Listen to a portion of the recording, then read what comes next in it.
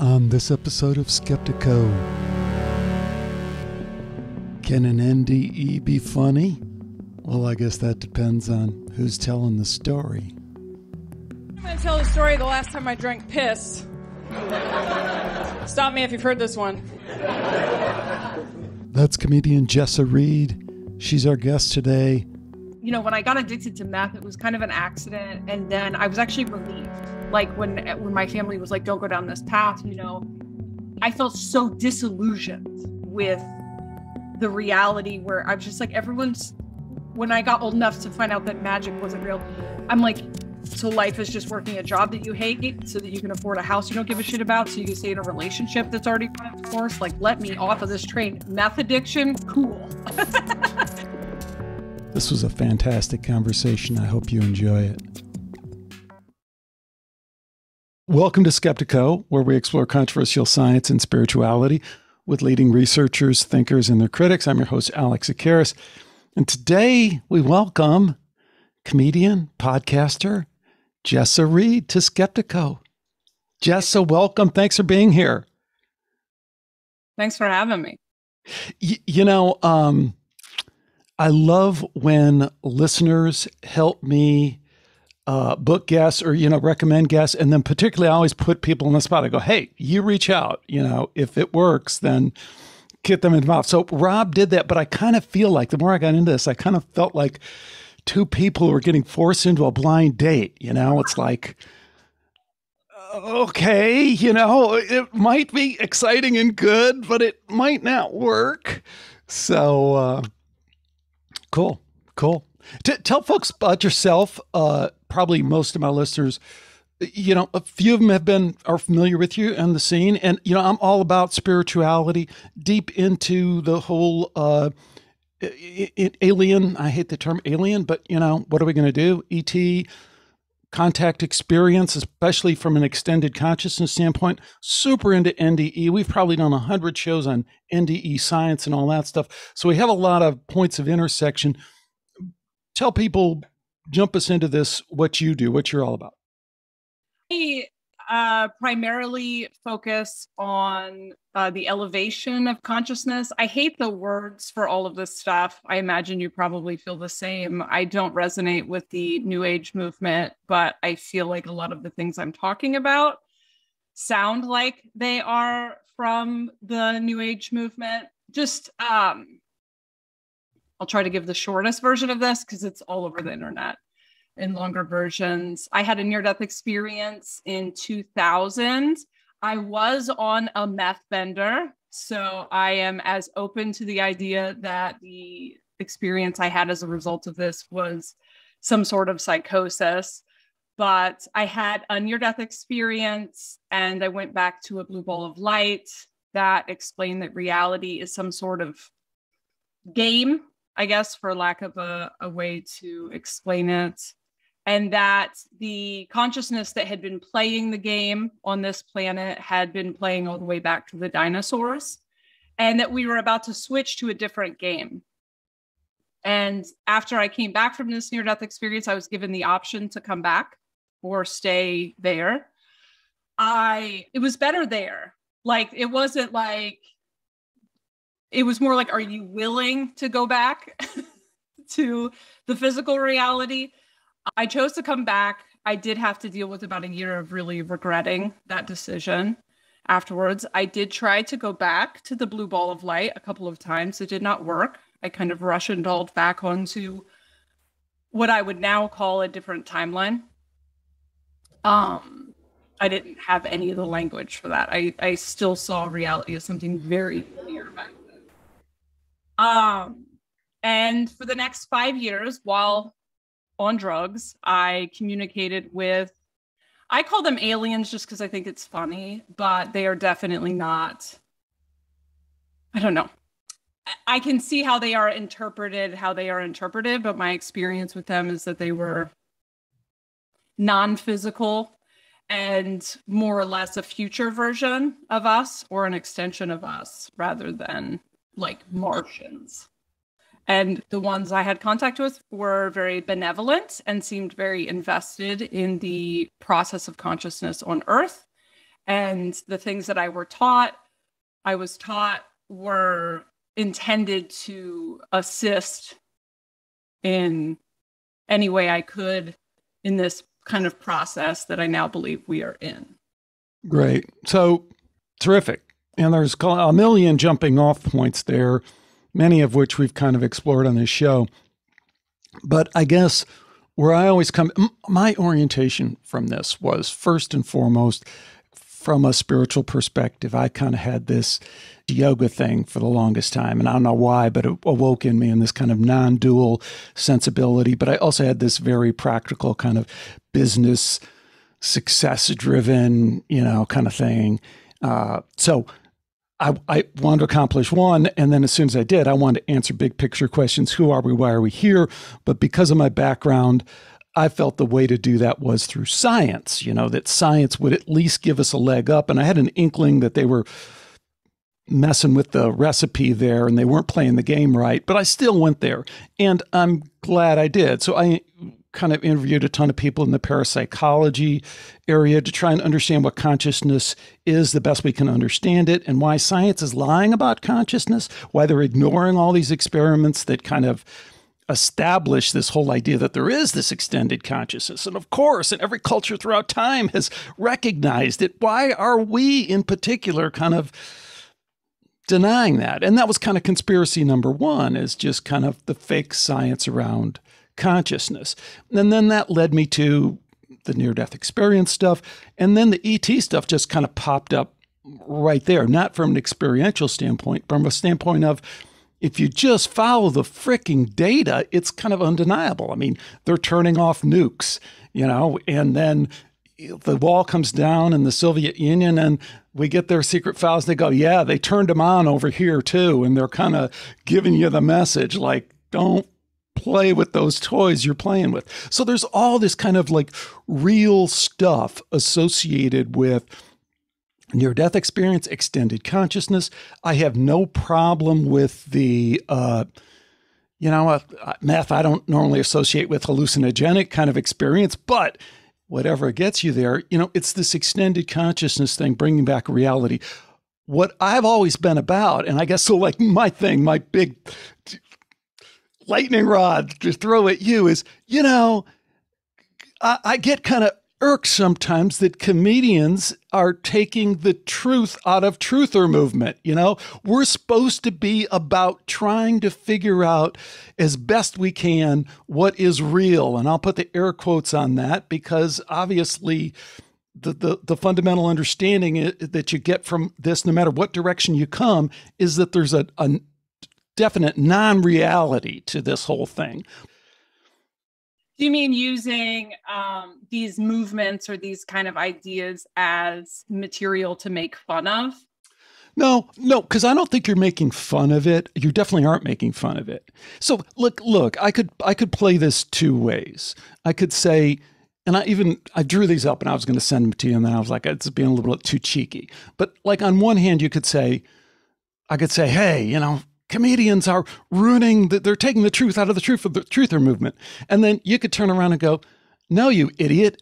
Comedians are expanding the truther movement by whatever you want to call truther movement by awakening more people challenging this kind of very rigid paradigm that we we can you know our parents were in and everyone we can think of were in. And we're breaking through that in a way that brings more people in you know? So there's kind of but there is a tension there, like uh, in terms of all the things that you just said about your near death experience. Well, there's a lot of scientists that have studied the near death experience and studied, like I just interviewed a guy. His, his name is Dr. Gregory Shushan. And what he's done, he's probably the world's leading authority on near death experience across culture, across time. So he has these 500 year old near death experiences from China and then these near death experiences from Polynesia. And he shows how they change the whole culture. So, to me, that's like a truth that I want to move towards and kind of process into this whole thing and process into your near death experience, but also other people's near death experience to try and play this game that we can figure this stuff out to some degree, even if we kind of can't. Yeah. I um I'm not sure that I'm clear how comedians are not doing that, but um unless you're talking about specific schools of thought within comedy. But my understanding of truth and this is just my perspective is that like it's a giant circle and that our we are all individuals within one giant consciousness and let's say that's inside of the circle like a like a disco ball and each one of us is one of those tiny squares and that most of what we do in our search for truth is debate with people who are looking at the opposite side of this circle that encompasses truth and just arguing ad nauseum about what is real. When I'm looking at the ceiling, you're looking at the floor. For me, the ceiling is real. For you, the floor is real. And that we are never going to figure out what truth is until we come at it with some sort of open minded curiosity about one another's perspective rather than this kind of argumentative debate. So, you know, and I say this as someone who gets sucked into debates or or um, entrenching into my own beliefs, usually out of some sort of insecurity in them. But throughout my life, what I have come to find is that whenever I have a very rigid idea of how things need to play out for the awakening or what people need to to see the truth or whatever, I I zoom out over time and experience, find out that my rigid idea of how this needs to play out wasn't actually correct, you know, wasn't actually honoring this kind of trickster element in consciousness. And so now I'm just at this point, you know, I woke up in 2000 and I was very attached to how this kind of collective awakening, you know, and you go through the thing. I went through the hardcore, wild conspiracy theory phase, you know, because you wake up and you feel, oh my God, I've been lied to. And now you're looking for it everywhere. And you're also filtering it through, I think the trauma healing has to be a huge part of this because otherwise you're projecting your darkness onto everything and everything looks like a hand-wringing conspiracy rather than what I call a tiny a million tiny agendas where this kind of trickster element plays out in reality because everyone's focused on their one little tiny thing. Um and it and it i don't know.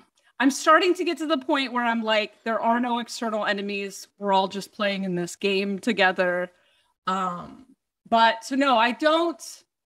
I think if you're talking about opposition in comedy, I think that some of us are meant to be what I think you resonate with, which is more kind of data driven, quantifiable, or challenging what is quantifiable, kind of pushing in that more kind of masculine energy. And others of us are supposed to be in the more fluid, artistic, philosopher, and those things coming up against each other is how we get to truth.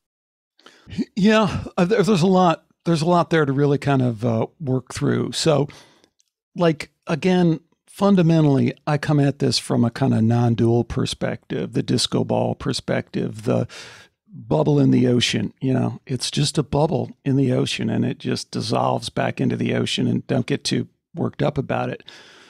But then I guess I, I when I take that, I go, part of the reason why I believe that is because the reincarnation research done at University of Virginia that was carefully done for years and years by all these and published in peer-reviewed papers and I go I point to that and I go that makes me kind of confident in that reality that I understand is a reality. And I'd say the same thing about the near death experience with Gregory Shushan or, or other people. So, one of the th- what I guess I was pointing to when I was talking about the truther movement is I didn't awaken to the conspiracy stuff for kind of a long time. I was just kind of I was oblivious and I was kind of going down this other path. But then I did have that process of when you wake up to the conspiracy thing, you're like, oh my God, you know, everything is kind of a conspiracy. So I'm, I'm going off on a long thing, but the point is, you have to dig to get to that truth. That truth isn't just revealed to you. As a matter of fact, it's hidden in all these different ways that you have to figure out. So that is very non disco ballish kind of thing. That is like here now, you know, Bitcoin. I heard you talking about, you know, one of my favorite movies too, The Big Short on a thing you just did. That's very third dimension, as Jessa likes to say, this world. And I just I just think that has to be preserved in this process because if we just kind of jump past that, then we're all just kind of making stuff up.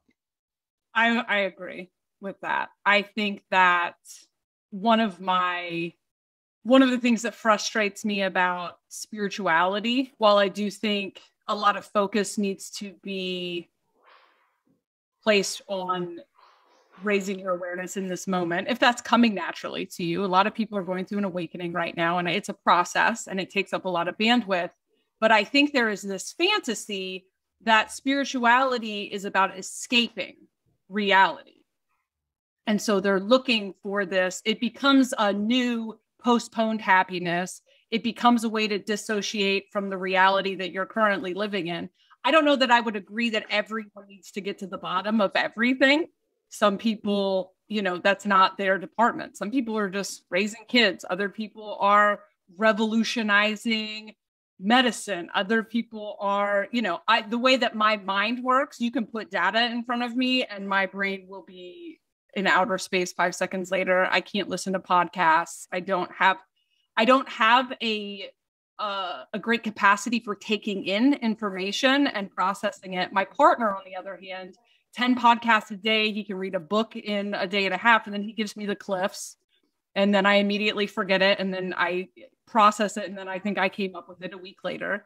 Um, so I do think there are, in the disco ball, there are some people who are bringing into our collective awareness this truth and looking at things from a different perspective because that comes naturally to you and because that is um not to be like follow your bliss but that is where your energy is kind of naturally taken. And there it there is a slightly evangelical um thing for a lot of people looking at conspiracy and i mean the, the full range from flat earth to just the government. Yeah of course the government's come on. Um but is this kind of evangelical kind of proselytizing kind of and i've been there sky is falling i need everyone else to know this. And what i came to see is that people can't hear what they're not supposed to hear. And they're either not supposed to hear it because they're not they they haven't opened their they don't have enough space for it yet or they're not supposed to hear it because it's not their thing or because they're programmed. You know conspiracy theory is now a dirty word right you you put these is the same thing with the new age movement. I have to change the language i use all the time because after a while a, a word or a phrase comes to mean something that shuts down the critical factor in people's minds. So they're not it immediately closes their mind. So trying to have conversations about some of these subjects i've learned like I, I drop words and switch to a different language, but I've also just really released the need to have anyone else believe anything that they are not ready to believe because I don't believe we're never going to homogenize consciousness. We just have to master the unity. So I agree. I think it's both. I think it's when it comes to changing other people, it's the mirror ball. When it comes to my own personal life and existence, focused here in the third dimension.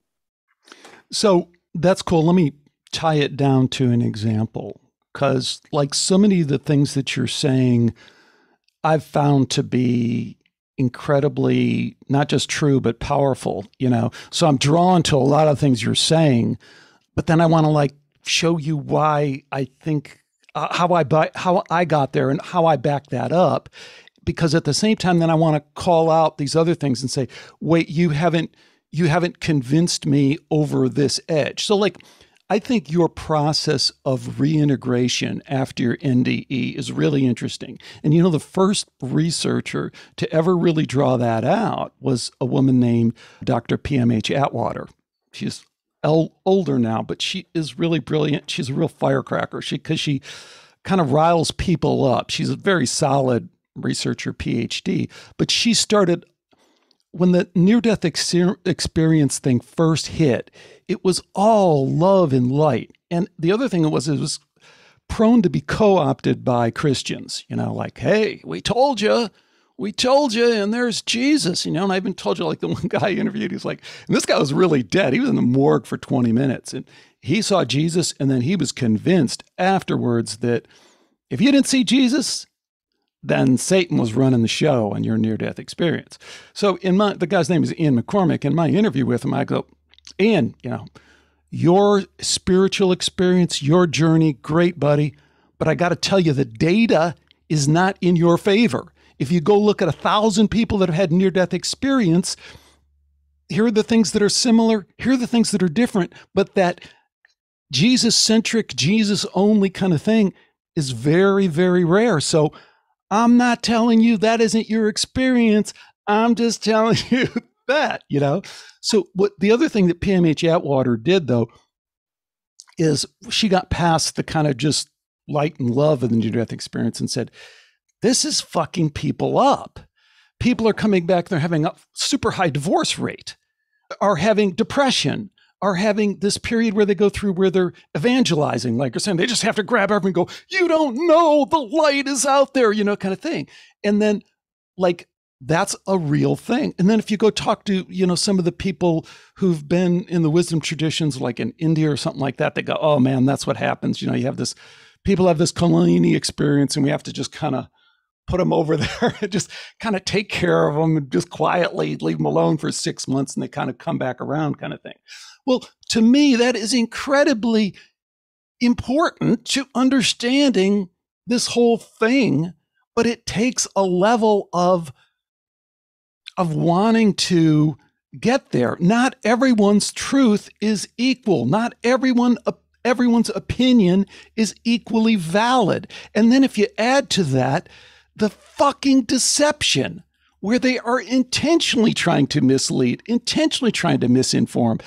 I, I, I'm just passionate about trying to understand that battlefield that we're on because I think it is necessary to kind of navigate these truths. Yeah, I think that that I, I that stuff about NDEs is interesting. I've never really looked into it. I definitely was yeah, the integration was difficult. I am so grateful that I the a the internet didn't exist.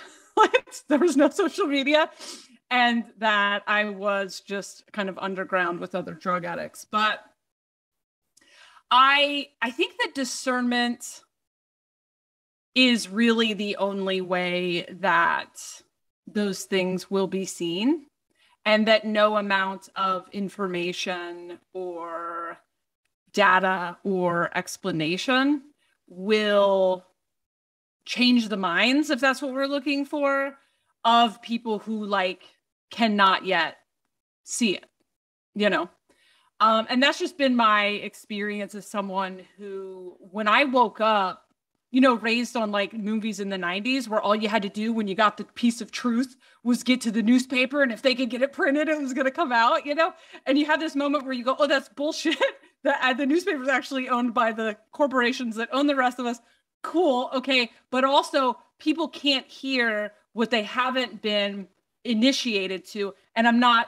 I, don't mean that in a hierarchical, better than anyone else type way, but it's a version of reality that until you have um until you have come to that you have eyes to see ears to hear i think is what that meant you it's it's Charlie Brown's teacher. And then you just, and then you get like, not you, but like we get like trying to explain it. And then we sound nuts, you know? And so there, it is this. I do believe there is subjective and objective truth. And then also, we are having an individual experience where in this realm, so yes, in the in the in the 12th dimension we're all one, but in the third dimension you and I are two totally different people. And to a certain degree do these things need to be known like do i need to let people know about what the government's doing i don't know can i do much about it if they aren't at a place to see that for themselves, they're probably not going to believe me. And I am going to blow out my own nervous system trying to bring someone to a place of awareness that I personally just believe is an expansion of your own consciousness. The ability to hold paradox, you know, the ability to see your own, how your own prejudices and attachments and desires you know, a lot of people want to go back to normal because they want to go back to normal. And they're like, shush, I don't want to hear that we are living through the collapse of the civilization or the apocalypse because I just want to go back. I just got a raise right before all this shit started, you know? So, um, sorry, I just go on fucking rants. You just have to. No, no, no, no, no, not at all. Because that's all.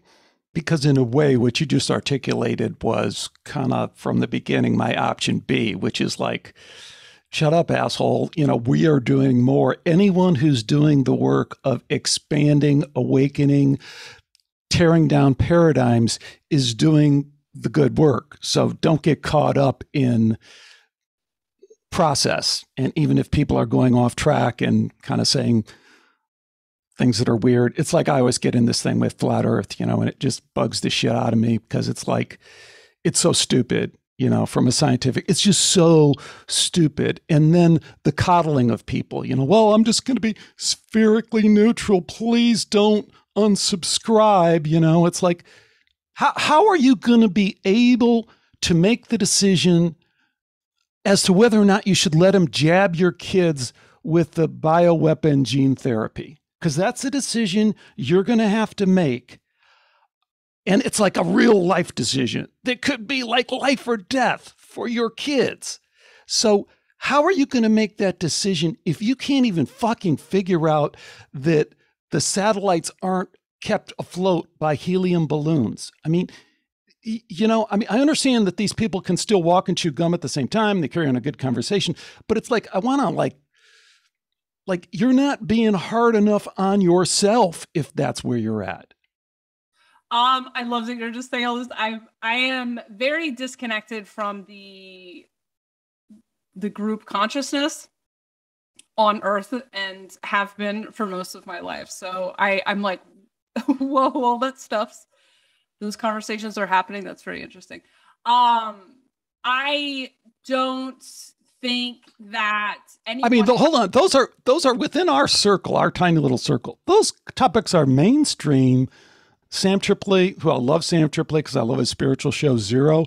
Uh, Eddie Bravo, you know, he's a, I mean, Joe Rogan will allow this kind of conversation. I can go down the list. Duncan Trussell, you know, these are like conversations that they have. There's no, there, there there's no injecting any kind of reality to any of that. And I, I I'm just saying that doesn't serve us. I think because you know, the, the bioweapon gene therapy thing is fucking a serious attempt to, you know, further that agenda. And I'm I'm all for jumping out of the dimension and saying, to me, from a spiritual perspective, I don't get too worked up about it because it doesn't matter. But from a, you know, I, I think we got to try and do better than that.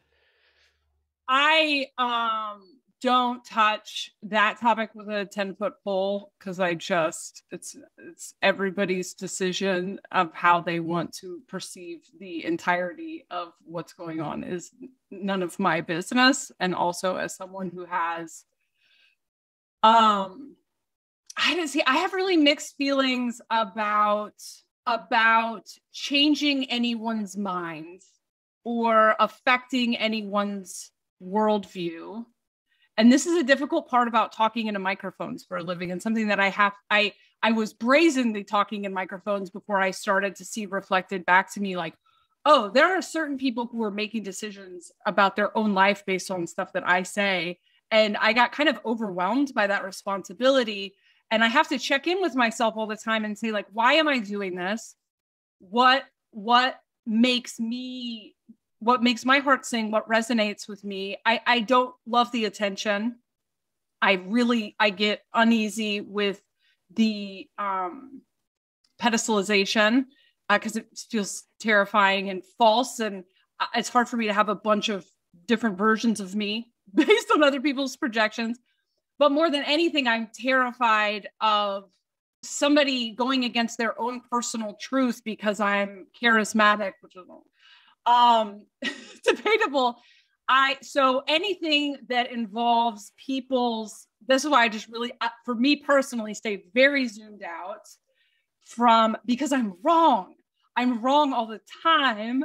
So I stay very zoomed out from hard and that's not to say anyone else is doing the wrong thing, but all all I think I'm interested in is providing to people validation for the process of awakening because the the mainstream reality the old constructs will tell you that you're losing your mind and providing a kind of levity to the process because we all kind of get up our own ass about spirituality we take it way too fucking seriously and everything that I've ever encountered in the higher dimensions is very funny. It's very funny. It's fuck your dumb problems, you know.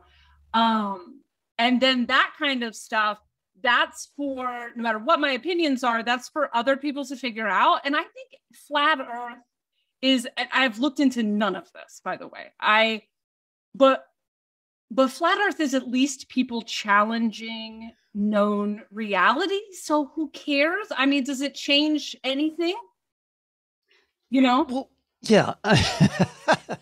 well, the, you know, so there's uh, a couple things. I mean, one, you you are charismatic, you know, and the sage on the stage thing. Well, you are. You can't help it. But the sage on the stage thing is bravo, you know, for you to kind of acknowledge that and try and wrestle that to the ground because I do get a sense of that, a genuine sense of that, like in listening to you, like you're kind of pulling back, like, you know, wink, don't really believe all the bullshit I'm saying. I mean, believe as believe as much as you can make useful for yourself. But so I, I think that's, you know, a very a very positive thing. But I do think there's I, I do think like with the flat earth thing. I mean, for one, Jessa, you're not afraid to kind of share your opinion and share your opinion about certain individuals who you think are not, uh, you know, toeing the line or, you know, are trust fund kids who are too focused on their Robinhood account and uh, porn. You know what I mean? And it's like, screw that, you know, and wake up to some kind of spiritual reality. So we're all kind of multidimensional in that way too is that we are kind of in each other's face all the time so i don't want you to step back from that because you're in the game yeah and i am i'm going through this like annoying transformation where i'm learning about cptsd and trauma responses and it's really put a damper on my hilarious shitting on other people. Um the the references you're making uh are I I it was very difficult for me to even start talking about this stuff publicly. I did not want to talk about this stuff publicly. Is I had been awake in the dream for 20 years, kind of living under whatever. I didn't resonate with anyone else who was saying anything close to it. So and I was just a comedian on podcasts. And then I just kind of went to this transformation where I came out and started talking about this. And then I had my own fumbling through it. And I spent a lot of time early on making fun of people who do this for a living. And, you know, was I doing that because it needed to be made fun of? Kind of. I think one of the things I made fun of was somebody saying, I, I do have an issue with trust fund babies teaching manifestation, but um was uh, somebody saying that they're they went up to the fifth dimension and their guides told them to run a, a Black Friday sale. And I was like, what are you in the retail department? Um, but what has happened in the last year is I had multiple experiences where I played the villain in someone else's life. And I thought I was right when I was doing it. I thought I was the victim. And when you have an experience like that, hopefully you will take that wisdom of that paradox where the movie that was playing in my head, I was the victim. The movie that was playing in their, their head, I was the villain. Then, in defense of what I thought was in defense of myself, I became the villain. I played that role for them to be able to hold those at the same time and go, okay, well, is is this person the villain that I have projected onto them, or are they a traumatized person doing the best they can? And in learning about CPTSD, I learned that narcissism, not the personality disorder, but that like entitlement and um, uh, demanding and controlling is a mechanism of fight trauma response, and that ghosting is a mechanism of the the the fawn the flight trauma response. I'm butchering it, and that people in the fawn trauma response they tell you yes to whatever you want because they want that thing to be over. And all of a sudden, I go, oh, that guy who ghosted me, maybe not a huge hand wringing asshole. Oh, this person over here who acted very entitled was traumatized okay, it's taken the, the fun out of the external enemy experience for me. And like I said, I do, I don't have a, ta- I don't think I resonate with flat earth, uh, but I am so open to challenging all constructs. I love it, including the ones I hold dear. Um, and not just switching from old constructs to a new homogenized uh, this is the set of rules and we're sticking to it. So, um, you know, I know the other subject is is very charged, and and I just don't, for many reasons, just I I don't want to have anything to do with that conversation. But um, I'm not sure that it met. Like, do I need to control what other people do with their life? I did. Yeah, I mean, well, I, like one of the things you say that I think is like fundamentally true and here's the way i would put it like so flat earth is is stupid okay? So scientifically it's just a stupid idea and you hear it and you go oh my god. Now the counter to that in my opinion is statistically i would be willing to bet that people who are flat earthers are dramatically, statistically, significantly less likely to be injected by the bioweapon gene therapy thing, right? So it's like, oh, is that really a bad thing? I mean, you were a flat earther, but you saw through this other bullshit because you had this uber empiricism thing like hey i don't believe anything unless somebody shows it to me. And that turns out to be from a kind of practical strategy standpoint in the world we live in probably a better overall strategy. Uh, so i'm kind of with you in that respect but it's still stupid. And i think you I, I just think we have to kind of find find that terrain that we're going to uh, flower and then plant and water. And that is that we can find discernment this way and we can call stupid shit stupid and that's okay and it's part of the process of really figuring out what's true. And so with that that's enough flat earth nonsense. You know what you said also that kind of resonated me? Quick story. Have you ever heard of uh, rich martini uh, the guy he did a movie he's a hollywood guy and he did a movie called flipside. He really got into past life regression and between life regression. So anyways anyone who wants to go watch his movie there's this kind of seminal point in it where he's at this weekend retreat and they're doing these past life regressions. This one woman has this past life regression and she's in a concentration camp and she's walking to the gas chambers and suddenly she realizes that that's what's happening you know? And she's like frantic. And she's like, at least I'm going to attack a guard, you know, I'll take somebody with me or this and that. And then she goes, no, I'm just going to be with my people and I'm just going to settle into this. And then she gets to uh, the spiritual realm immediately right above it. And she realizes she has this empathy for the guards because she realizes that the burden that they are going to carry from this experience is so much greater that she has died and she will be reborn and all that. They will, they have this like, I hate the term, but karmic kind of thing that they're going to have to unravel and their kids are going to have to unravel and all the rest of that. So, like, that connects directly to me with kind of what you're saying on this more important level than kind of the flat earth level. Yeah, I mean, I think I think it's a you know it's a it's a small zoomed in thing dealing with right now, and I, I am obsessed with autonomy and allowing people to be in their own process. So I believe that if you want to be a Mormon, be a Mormon as long as you're version, uh, your way of expressing reality doesn't involve infringing on the rights of other people.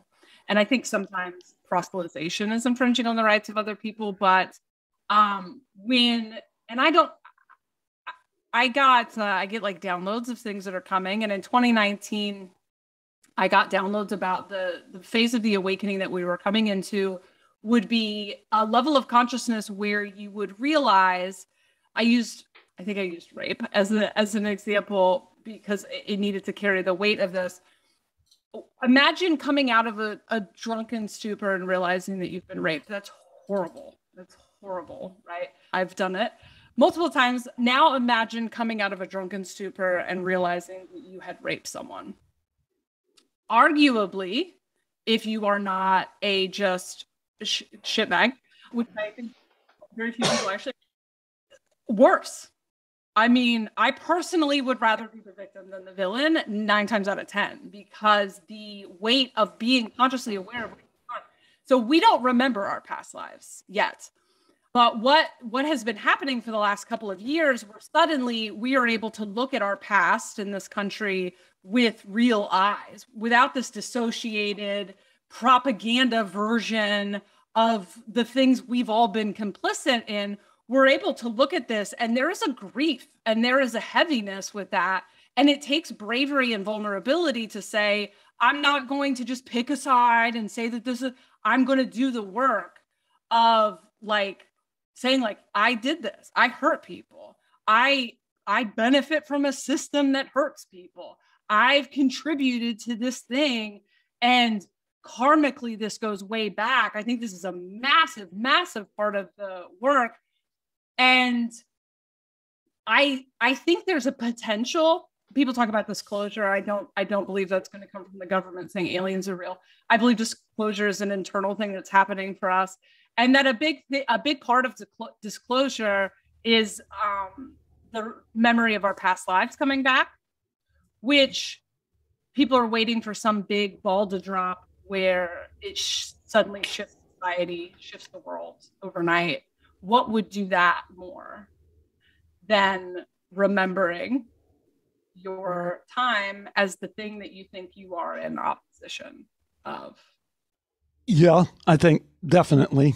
And we see that from people. That's what they report, you know, of having, like, that's the Rich Martini story is you have that experience and it changes you. And you, you just said that, you know, earlier about yourself of, of having that, that download or that experience of being actually you had like did you do like a formal past life regression or was kind of a spontaneous past life kind of thing experience um, I really don't know any of my past lives other than I have some memories of Atlantis.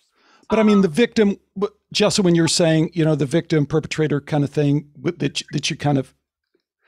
Yeah, that was in this rea- this lifetime, and then and then I could take that information and retroactively look at like personal relationships in which I thought I was the victim. But no, that was just something that happened in in 2020. Okay. Yeah. No, that's that's cool. And I, I think, you know, boy, you know, this is this first date is really going well. I just have to say.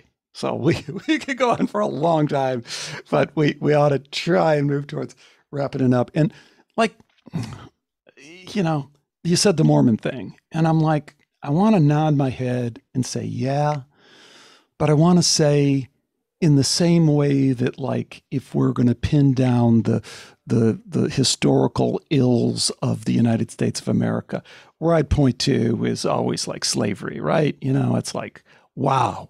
And there's still so many apologists today, and I have them on the phone and goes, oh no, you know, only a fraction of the people in the South, and I'm married into the South. I'm married in, you know, but it's only a fraction of people, small percentage of people, you know, own slaves. It's like, well, that's just not true. I mean, go look it up. It's just not true. It's fudging the numbers. In South Carolina, 50% of the people were connected directly to slavery, which means like you had a slave in your family or you owned a slave. The way they fudge the numbers is they go, well, you're a family of six, but only one person, the man, the lead guy, owned the slaves. Now, is that real? That's not real. You have 10 slaves, the whole family, you're all connected to it, right? So that's just changing the numbers. So, like, to me, that's like step one like, fuck Black Lives Matter. What a fake fucking bullshit thing. Let's just let's just own our history. Can't we like agree on like that fact that I said? Before we even get into BLM, can we just agree that that really happened? And then after after slavery ended, the Ku Klux Klan came in and just terrorized those people, the white people down there, into being just the way that they were before. That's our freaking history, man. I mean, so I switch over to the Mormon thing and I say the same thing. It's like, no, it ain't cool being a Mormon. The history there sucks. And the, the relationship to women, the relationship to African Americans, the relationship to everyone, it, it, it sucks.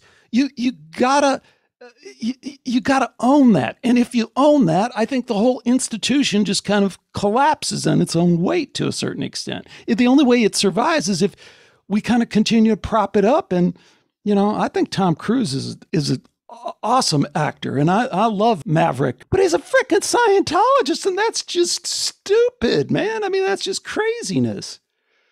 Yeah, you're right. You're right. I, um, it's hard to pick a religion that's not uh, steeped in the oppression of other people. so I guess what I mean is if you want to have some kooky beliefs and you have found a way to keep that shit in your own aura in your own personal life and not obviously try to legislate other people's lives according to your kooky beliefs and um yeah that the entire thing isn't built on the oppression of um other people yeah so i that was a terrible example um Thanks. No, I, I, let me let me rush to your defense because it's not terrible. It's it's exactly what you what you just said. It's like because that's the flip side. You know what you said earlier that I really wanted to draw out because you say so many brilliant things, and I'm just kind of combative by nature, but.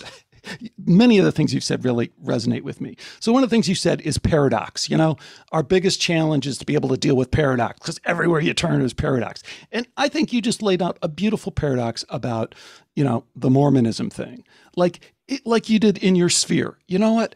It, uh, uh, uh, would would you or I say that you can't be Mormon and live a rich, positive spiritual life that uplifts all your community and your family? Of course you can. You know what I mean? So it's like that's the paradox. In, in some ways, you could even say it works better because a lot of the values that are built into that are kind of give you a leg up on doing that rather than some of the crazy values we have. So, what do you think about that? Yeah, I do think it is. This is that victim villain thing too, because I did a five year stint in born again Christianity. And um, in that, you know, very oppressive against women. You know, I suffered a lot of trauma because I don't, I didn't look or act like a woman enough or, or, or whatever, while simultaneously believing that, and to this day, there's this like Christian martyrdom thing where uh, Christians believe themselves to be being persecuted by not being allowed to force other people to do things. They're taking church. That was the thing about taking prayer out of schools. And it's like, no, dog, they're just not forcing people from other cultures to pray to your God, you fucking weirdos. Nobody's telling you you can't pray. But that when you are used to being the dominant force, which I think is so much of what is happening, and what I truly think the work is right now is looking at the ways in which we are complicit in oppression, not getting hung up in the is this movement good or bad? Because that's to me just the cop out to not do the work of the semantics of whatever. We benefit from a system that has oppressed Black people since this country started. It's the best way I know, I'm not great with history, but to this day, we benefit from the system. Can you sit in that discomfort can you open your heart? Can you make amends? You know, can you, rather than expecting the person who's been hurt to do the work and get over it, like, can we go, man, I want to make this right and and take that into your personal relationships as well. We're so conditioned to not know how to open our hearts and just apologize and make amends for things that in you you'll be in love with someone, you're married for five years, you spend the whole time fighting, trying to be right, trying to be so what, you know. So I don't remember how I got onto that thing, but I think, yeah, I think can you be a Christian and and not need to let like that should not be you're cool. You can do that. Um, just like you can believe in flat earth. Now, if you start trying to make laws that affect my life with your flat earthiness, I don't, but I, I just want everyone to believe whatever they believe. I believe I'm an alien. I mean, I I want the freedom for everyone to have that, but we have to learn. We have to mature to the place where we let people be their perspective without imposing our perspective onto them. Or, you know, in the case of some of these things that we're talking about, are we imposing our perspective or have we shaped our perspective to morally justify ways in which we've hurt other people you know? Yeah.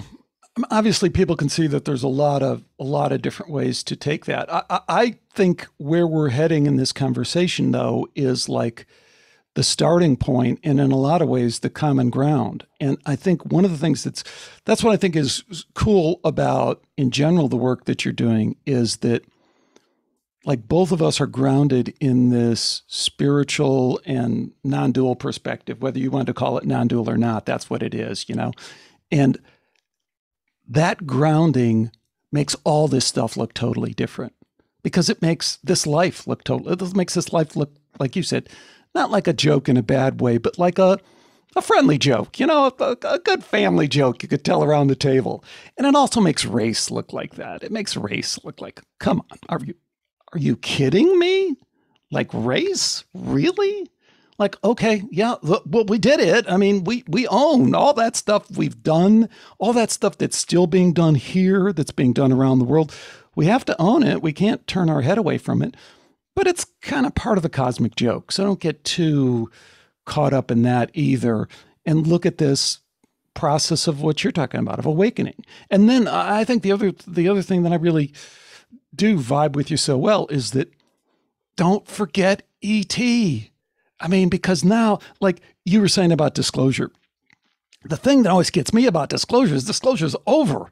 I mean, you can't have more disclosure than New York Times front page. And I interviewed Leslie Kean. I consider her a friend. You know, I've interviewed her multiple times. And I Ralph Blumenthal, the two people who, you know, wrote the article for the New York Times. But so having said that, you know, the government is out, the government's saying, okay, here's ET and look out because now we have to, you know, it's all about the Pentagon. Big surprise. Oh, really? but, and the first guy who comes forward is, you know, counterintelligence, right? Lou Elizondo. Yeah. So, yeah, there's disclosure, there's aliens, and let's bring in our counterintelligence guy he'd be the one that you want to do that. But there's re- another reality of that is that you can't deny that that that's real. So that they denied it for seven years. So now it's real. And I guess my point, a lot of babbling, is to hold those two things and to move forward, which is what you're doing. Hats off to you because it's it's so hard to so hard to to do that. I think. What what has that been your experience and working with other people and talking to other people or how, how do you find that? I you know most of what i understand about the world i've learned through making giant mistakes um, myself. And so you know i'm now at a place of right after waking up i had information that aliens gave me. So it was like there'll be no more this or that no right or wrong light or dark male or female. I didn't know what that meant at the time. Like these boxes, they called them not we call them constructs now. They called um, parameters. These are made up. So everything you understand to be reality is is something that like the collective consciousness wrote out as the map of this game. Um, those will dissolve and uh, kind of new thing will rise up that is more fluid for a while. Um, I have found that we are just starting to turn the corner as a collective because this is a process. You don't come from being dead the fuck asleep to just you get it. It's like the imagery I always get is is deep sea divers. You have to come up slow, otherwise you're going to. And you see certain people shoot up too fast and they end up 5150. And that's why I part of this process is is saying not spiritually bypassing to we're all one, you know, but rather saying, fuck, yeah, this was a construct, but you got really hurt. And I I benefited from you getting really hurt in this construct. So I'm going to sit here in this moment because we do have a need to be seen by one another in order to come back into unity consciousness. We're not going to jump cut to that. So we're in this process. I, I believe we're about halfway through it. Um, and paradox is in there and we are used to having a team. I'm on the red team. I'm on the blue team. I'm on the you know i'm i am opposed to this. And i think the next two years um, are really going to be focused about what in the external reality do you believe is your identity? Like what do you identify as?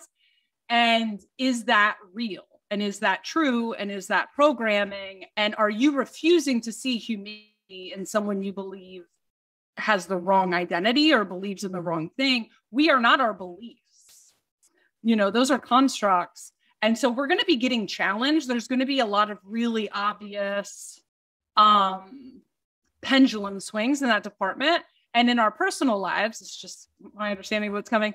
Um, if you are refusing to see your own hypocrisy or, you know, um, you are entrenched in what you think is right, you're going to have the opposite. So if you visit uh, discomfort on somebody else because you think you're morally correct, that's immediately going to be visited back on you as an attempt to kind of shake us out of that and get us into a more being able to hold because it's all just paradox, which will can drive you nuts. I have a hard time sometimes having an opinion on anything because I can see how all of it is true. I wanted to ask you, do you believe it, that we have an that we share an energetic grid here? What specifically do you mean, Jessa?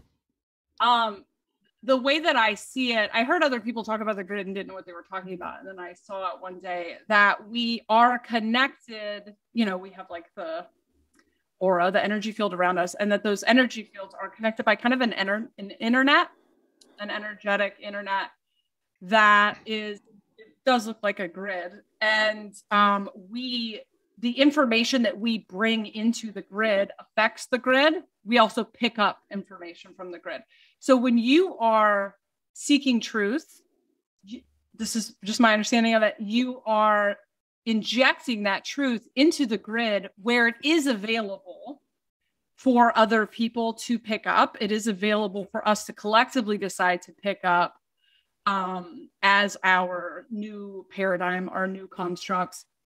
Also, when you heal your shit, when you heal your own racism, when you heal your own, um, you know, uh, what I'm calling internalized capitalism, this like, I'm not calling someone else call that, but I resonate with this idea that we are all driven as some sort of like worker bees that we're not doing enough. And it's it's kind of a rogue program that we're applying to things that doesn't go with codependency. When you heal these things you do affect the grid in a way that we start to say like maybe these codependent ideas of love are not serving us and that we are hurting each other.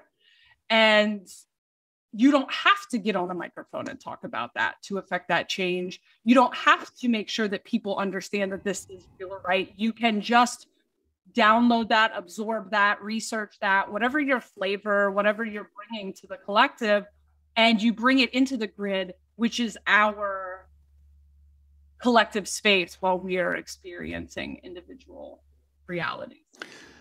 So, you know, I'm okay with the grid as a metaphor I'm just struggle with a little bit when people try and add a level of technical reality to it. Because again, I'm kind of schooled in that. I was a PhD in artificial intelligence before I left and start, started my own AI company. I'm deep into the technology, or at least an understanding. Back in the day, I don't. That's way past me now. But there's always been this tendency to want to take what is a really good metaphor, which is the computer, and kind of apply it to this reality. And it always t- also always ties into this special place and time that we're at. And it's like, God, that just doesn't just quickly just scan history. there's so many people that thought they were at a special place in time, you know, hundred years ago, thousand years ago, more than that, you know. So I'm I'm resistant to that, and I'm also resistant to it just because again, I've been super interested in yoga for a long time. And you look at that tradition of that seeking tradition, and you just see the same shit coming up, you know, and people who are just saying, I just need to get out of it. I need to get out of the whole thing. I need to, and not that there's, not that that's perfect or messed up, but when you see you know, Neem Karoli Baba walking around with nothing but a broken bowl on his head and a wrap around his thing and living like that for years, just walking from town to town, you're going, why would he do that? Well, why he's doing that is just to say, all this is fake.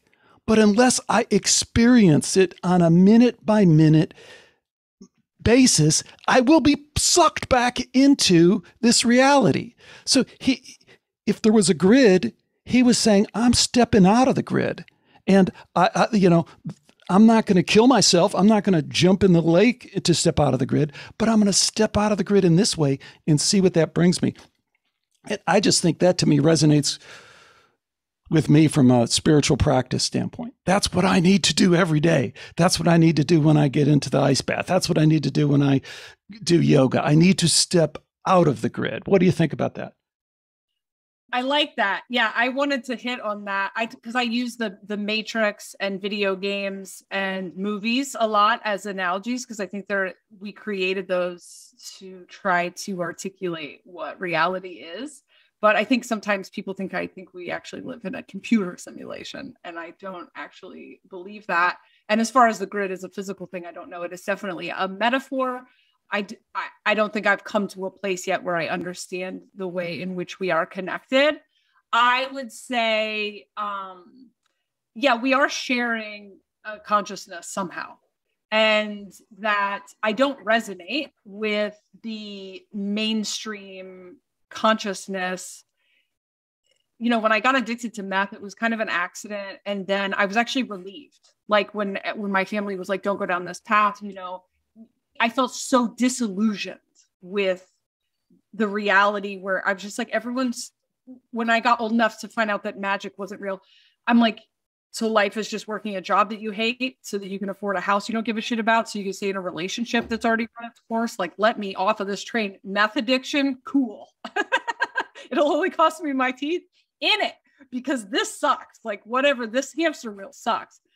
So, yeah, I think to a certain extent, what I'm trying to articulate is that there is a way for us to enact change that doesn't necessarily have to be so externally controlling. I think we are coming out of an externalized reality, going into an internalized reality. And I like this idea of us sharing a grid for that we can share information, which is like, to the best of my knowledge, how it how it plays out in higher like less dense realities is there is a collective consciousness that is not so grabby and demanding. But yes, absolutely. I think that like shielding, uh, programming the grid without being played by the grid. Yeah, I would definitely agree with that. And yeah, I'm I just discovered cold water or it's been helping me a lot with anxiety. I haven't gotten to ice baths, but I've gotten to bowls of water, bowls of ice water in my face and cold showers. And yeah, it's and learning about the nervous system and breathing. I knew it was going to be something stupid. I knew we were going to level up and it was going to be so dumb like, hey, you've just been shallow breathing, breathe deep, and you're going to be able to access these parts of yourself. But then when it was literally breathing and like water, it's been it's been pretty funny to find out like, oh, there you are. That's awesome. That's so. Do you do the formal breathing like uh, Wim Hof? Not yet. You you I just encourage you to look into it. I mean, I've done it for years and uh, you just immediately feel better. And it's a physiological thing, you know, endorphin release, DMT release, whatever. But what I always thought was so interesting and still do about Wim Hof is a lot of people don't know this. Wim Hof's just a fucking yogi. I mean, he is. When he was 16 years old, he was cutting out yoga books, you know, and pasting them together. I mean, it's all yoga. Even the the breathing is directly yoga, but the ice and cold is a city, you know, they call them a, a yoga kind of thing.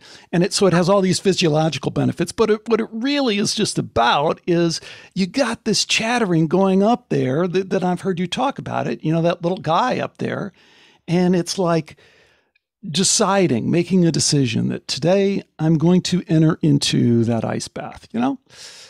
And then you just, you're forced to listen to that chatter. And it's like, oh no, you know, oh, you know, you've done every day, you know, hundreds of times, you know, take a day off, you know, da da da da da.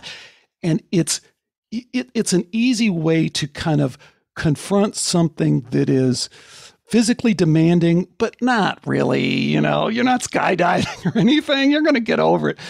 And the cold shower does just as good because no one wants to get in a cold shower. So you want to any? I would encourage anyone who wants to doesn't hear what you're saying about the voice when you talk about the voice. Go in a cold shower. You'll hear that freaking voice right away, right? Yeah. Yeah. No, it's been uh, it's been I I almost died again in January of this year and uh I came out of that one infinitely more traumatized. And I uh yeah, just kind of had really intense anxiety and panic attacks to where I thought there was something wrong with my heart. And I went to the doctor and she was like, This is grief, dog. so, like many things in my life, I discovered this through necessity. And it's crazy. It's crazy. I get knocked into that kind of trauma response and I just go get in a cold shower. And then I'm I'm focused on raising my tolerance um, to the cold. You know, I'm screaming like a whole baby. And then I come out and I'm like, oh my God, this is amazing. I can't imagine what an ice bath would do. But yeah. Well, you know, one other one other kind of hack that I'd throw your way, and you're already there, but with the breathing, if you do practice the breathing, oh man, you're in for a real treat in terms of uh, anxiety because you're directly creating that experience F- flight or fight you are like intentionally putting yourself in that with a breath hold and you say okay i'm going to hold my breath for two minutes when you first start to do that you're panicky you know and then the logic says but I can breathe at any time, right? So it's like, well, where is the, I'm panicky, but I'm totally in control of it. And then you're confronted with, oh shit, I've always been in control of the whole damn thing anyway. I just kind of kidded myself. You know what I mean? It, and it's not that easy. I'm not at all, uh, uh, because I've been there with all that stuff and, you know, but you get what I'm saying, right? Yeah. No, I, that makes me want to try it more. Something I noticed when the heart palpitations would start is I would realize I was holding my breath, which my doctor said is something she sees kids do a lot, but not adults necessarily. And then I breathe this deep ordinarily. So just like I, you know, I have a lot of like food sensitivities and and I just get forced to release certain things. I also don't meditate. I mean, I is something I am just kind of letting come naturally.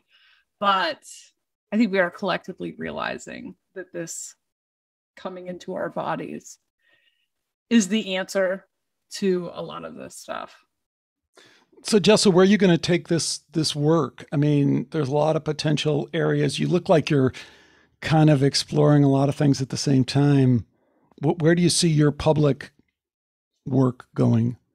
I am coming out of a numerological year seven, and I'm coming out of, you know, I got hit pretty hard in 2020. I got Lyme disease. I was kind of bedridden for a year just as these things were taking off. And then I had a, another medical event I won't bum your listeners out with in January. Um, I also just start things and, and then stop. Um, I think I might be taking this party to TikTok.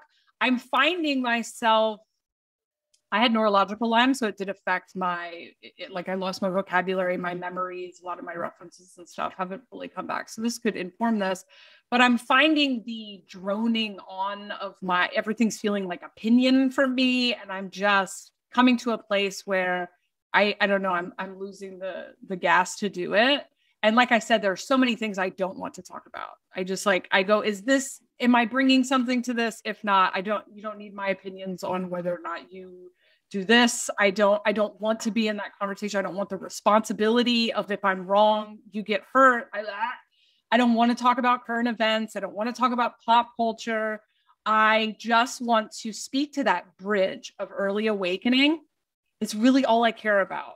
Privately i can go all kinds of places but all all that really like makes my heart sing i guess is that bridge that i didn't have.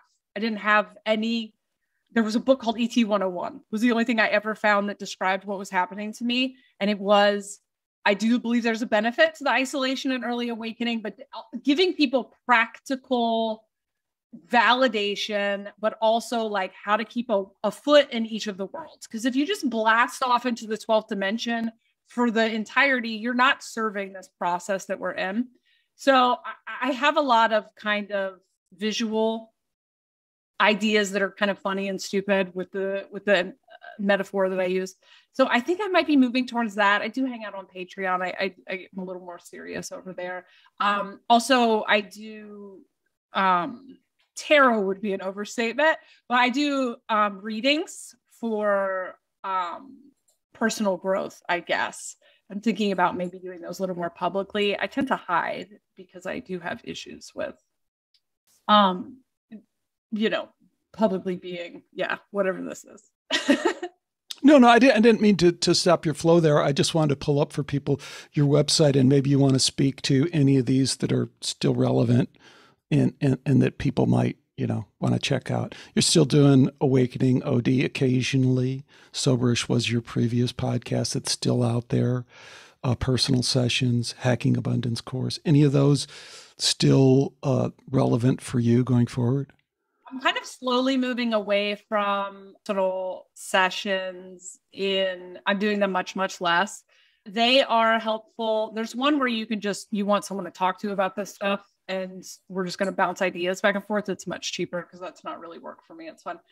The other one is I don't want to call this life coaching, but it's kind of life coaching. If you're tied up in knots, you know, that's kind of more my forte terrible at self promotion. Soberish is you know i change rapidly. So my it's cringy to me that my old podcasts are still out because i don't necessarily hold those same perspectives but i have left them up because they seem to resonate with people who are on a similar spot. Aod is an eighth dimensional being it's a bit an eight dimensional being reluctantly giving you tips for life in the matrix those are fun. It's just hard for me to stay in that character. And the Hacking Abundance course is, I, I talk a lot about hacking abundance manifestation stuff. It is available if you don't have money to pay for it because it's not lost on me that hacking abundance course. You have an option where you just take it for free and then send me the money if it works for you. I would love people to have access to this information more than I need to gatekeep it. So um, it's pretty intensive, but also ridiculous. Like the video portions are, like most things I do, some sort of uh, weird variety show. So yeah, all that stuff that's up there is that's the closest I've ever come to promoting anything. Well, it's awesome, and uh, I'm so glad that you that you came out. I think we had a lot to really talk about, it. and it was a unique conversation. And you're awesome. I hope you I hope you keep doing it because I know you're serving a lot of people. Awesome. I hope we can do it again. All right, Jessa, we will. Anytime. Thanks again to Jessa Reed for joining me today on Skeptiko. The one question I tee up from this interview is Can we be seeking the truth and still be entertaining? Does conspiratainment do good work in that it makes for a bigger tent, or is it poisoning the well? To mix metaphors there. Let me know your thoughts. Love to hear from you. Lots more to come. Until next time, take care and bye for now.